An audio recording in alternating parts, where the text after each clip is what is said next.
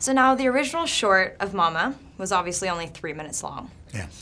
Now, with your expertise helping the wonderful siblings, mm-hmm. What do you do to ensure that you know the terrifying factor of that three-minute short is not diluted when it becomes a full-length film? Well, what we what we wanted was a, a story that was emotional, and we wanted a, a story that you were interested in watching, even without the ghost. You know, even without the ghost, the story of the adoption, the story of a, a couple adapting to becoming parents mm-hmm. all of a sudden is interesting to watch. It's interesting to watch the relationship with the girls and, and, and Jessica's character, mm-hmm. Annabel. Even if you remove the ghost, that's the first rule. The second rule is when we went for scares, we went for scares that are not the bloody, gory, you know, brutal found footage, whatever is common nowadays. We went for very classic, very controlled, very elegant, but very creepy scares. Very creepy. So yeah, so you can you can actually uh, you but definitely will be more scared for a character that you uh, care for than for a character you don't care for. So those are sort of sandwiched into creating the movie.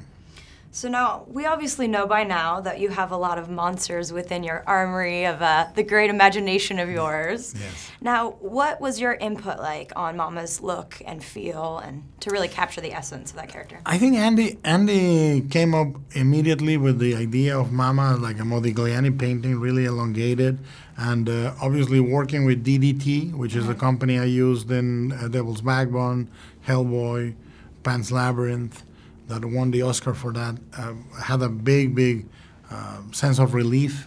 Uh, brought a sense of relief to the process, but you know the the, the water-based hair movement uh, is something that we were careful to explore, and I think uh, the input was mainly supporting Andy's vision.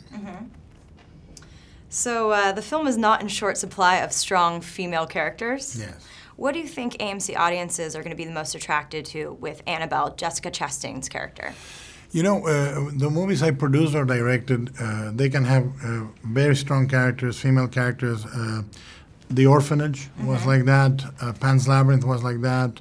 Julia's Eyes, and this one, and uh, Don't Be Afraid of the Dark. They are characters that you can relate to because they are struggling with uh, uh, emotions that you can identify with, that are everyday emotions. Uh, inadequacy, uh, uh, sort of shortcomings as a as a mother or a surrogate mother, and so forth. And basically, a woman that is so in love with with a man that she has to really get used to something that she was completely opposed uh, to. That she has to literally struggle with motherhood. So, final words for AMC audiences. Um, why should they see this movie? Well, if they want to be scared in a beautiful, elegant way that will follow you home, you should watch Mama. Hey guys, if you like this video, make sure to stop what you're doing and subscribe to our AMC Theatres YouTube channel to keep up to date on all the movie news, editorials, and our AMC Movie Talk Show. Also, make sure to follow us on Facebook and Twitter to hear about all our special promotions, contests, and prize giveaways.